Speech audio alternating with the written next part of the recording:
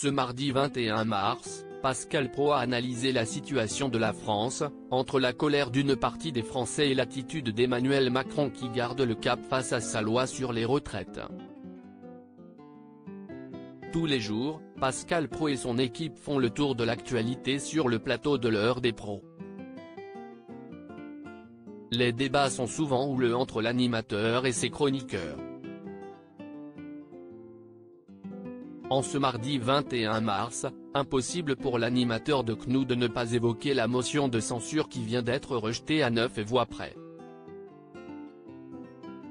Ce vote n'a ainsi pas permis de faire tomber le gouvernement, ni même de rejeter la réforme des retraites. Emmanuel Macron compte bien garder le cap et imposer sa loi malgré la colère de son peuple. Cela fait maintenant plusieurs mois que les Français manifestent dans les rues. Les éboueurs font grève, laissant accumuler les ordures sur les trottoirs dans les grandes villes, tandis que certaines raffineries sont bloquées.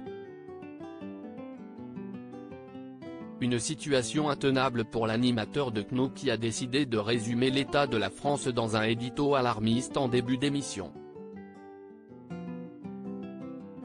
Emmanuel Macron, responsable du chaos en France résumons-nous.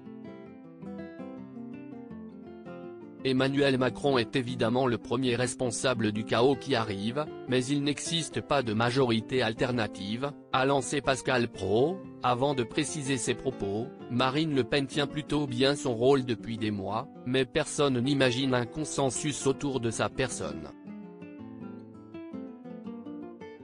Les républicains et la gauche républicaine n'existent pas ou n'existent plus.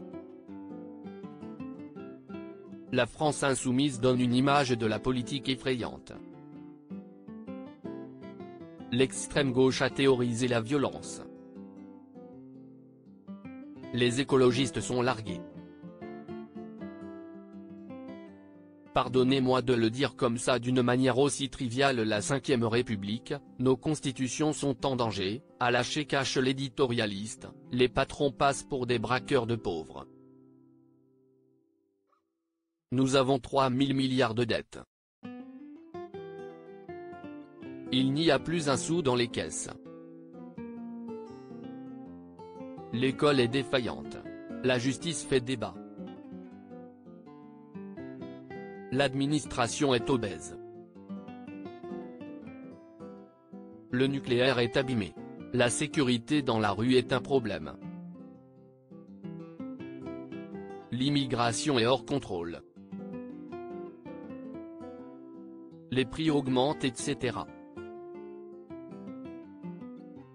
Bref et pardonnez-moi de le dire comme ça d'une manière aussi triviale, nous sommes dans la M, a conclu Pascal Pro, provoquant des rires surpris de ses chroniqueurs, prêts à s'exprimer sur ces manifestations.